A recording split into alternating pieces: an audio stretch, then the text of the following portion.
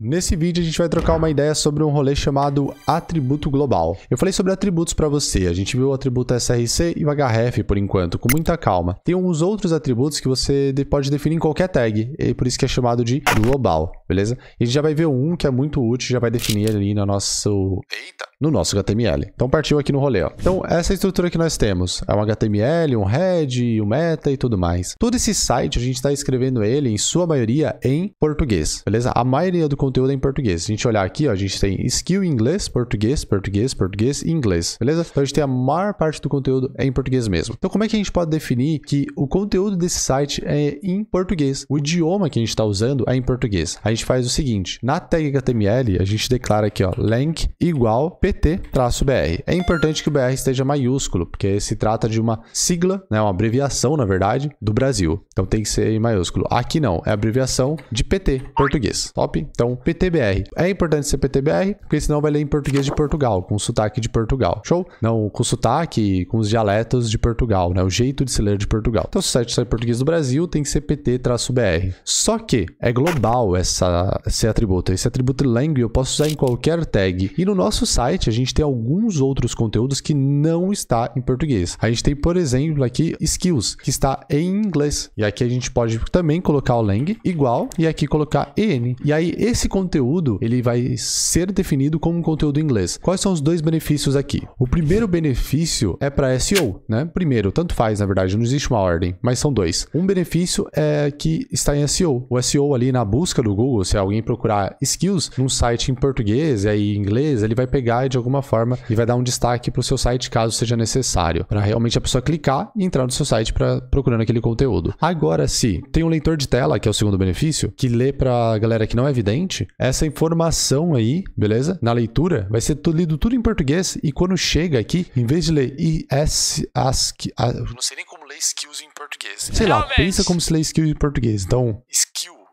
não sei, ASCII, ASCII SQ, SQ. Você leria assim, você leria skills. Skill. Skill.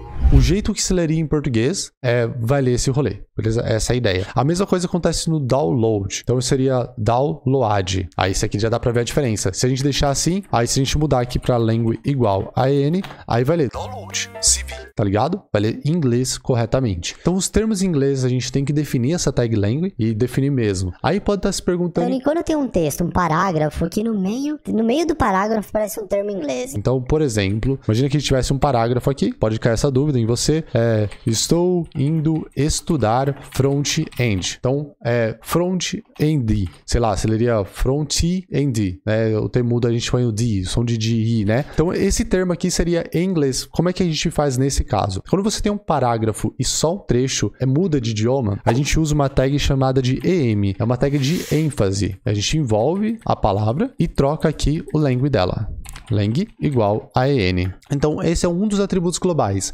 Existem outros, mas eu não quero que você se mate procurando todos os atributos globais. Eu quero que você entenda que eles existem, saiba que pode ser atribuído em várias tags, essa é a ideia dos atributos globais, e conforme com o tempo você vai acostumando com eles, né? Essa é a ideia. Então, esse é o atributo global mais usado. É a tag lang mesmo, é bastante usada exatamente para definir o conteúdo de forma correta com o idioma correto. Então, quando for dentro de um parágrafo, você faz com a tag em, beleza? E quando for aí dentro de um um, de uma tag que já existe a definição e está envolvendo o conteúdo todo, você não precisa da tag M. Você pode deixar aqui na malandragem desse jeito sem problema nenhum. Top? Então vou apagar o parágrafo aqui, que não tem necessidade. E o mais interessante, repara se eu for até o navegador e dar um refresh aqui, ó, não muda nada. Visualmente não muda nada. O que muda é para o leitor de telas e para SEO, beleza? É isso que eu queria mostrar nesse vídeo aí. Valeu, brigadão e bora pro próximo.